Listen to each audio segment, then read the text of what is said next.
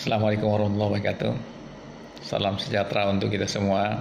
Saya Musni Omar Sosiolo dan juga Rektor Universitas Ibnu Khaldun Jakarta.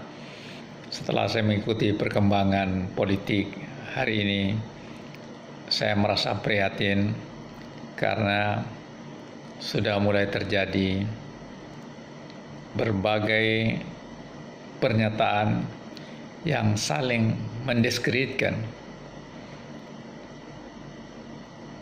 Cara-cara ini menurut saya sangat tidak sehat. Masing-masing orang di samping mempunyai banyak kelebihan, pasti ada kekurangannya. Tidaklah sepantasnya di dalam upaya kita untuk merebut kekuasaan, kita menista, kita menjelekkan, kita merendahkan, bahkan membeberkan kekurangan setiap calon, baik calon presiden maupun wakil presiden. Sebaiknya menurut saya, setiap politisi yang mendukung masing-masing calon, termasuk para relawan, mengemukakan kelebihan, mengemukakan kehebatan, mengemukakan kemampuan dan ke kehebatan dari calon yang didukung. Tidak usah dengan alasan apa pun mencari kelemahan dan kekurangan karena tidak ada manusia yang tidak mempunyai kekurangan.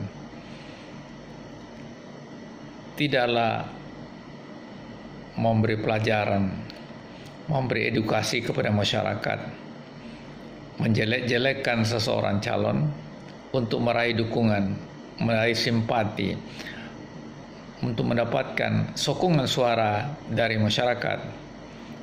Ketahuilah masyarakat kita makin hari makin pintar. Jadi tidak akan efektif, tidak ada gunanya menjelek-jelekkan lawan politik karena justru bisa terjadi pembalikan situasi di mana akan muncul uh, rasa simpati, rasa empati dari yang bersangkutan.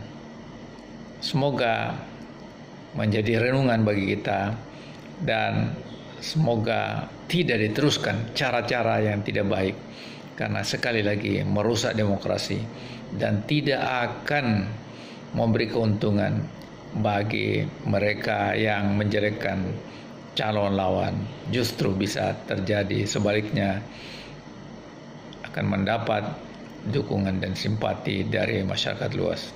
Terima kasih. Assalamualaikum warahmatullahi wabarakatuh.